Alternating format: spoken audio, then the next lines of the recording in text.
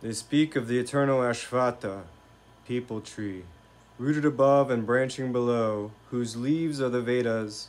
He who knows it is a knower of the Veda. Nourished by the gunas below and above spread its branches. Sense objects are its buds, and below in the world of man stretch forth its roots, propelling action. The form, origin, end, and existence of this tree is not perceived here. Having cut asunder this firm rooted Ashvattha with the strong axe of non attachment, then that goal is to be sought for, going where the wise do not return again and once there seek refuge in that primordial being from whom streamed forth the eternal dynasm.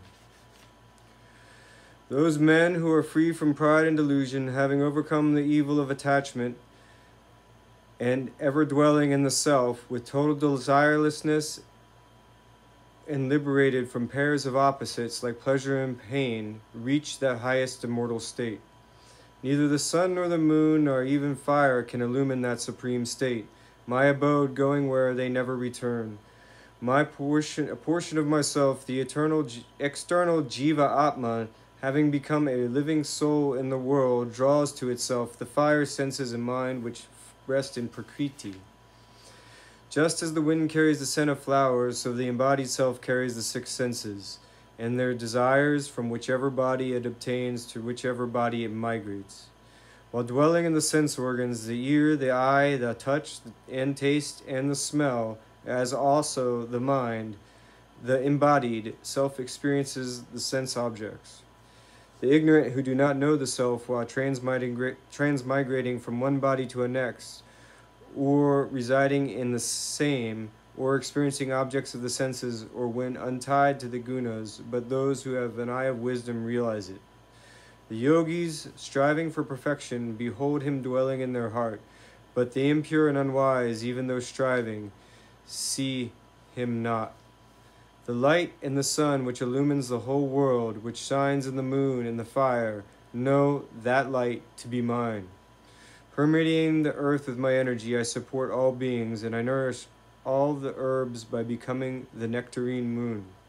Abiding in the body of all creatures as the fire, Vaishvanara, uh, I, united with prana and apana, digest the four kinds of foods.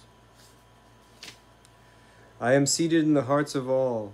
Memory and perception, as well as their loss, come from me.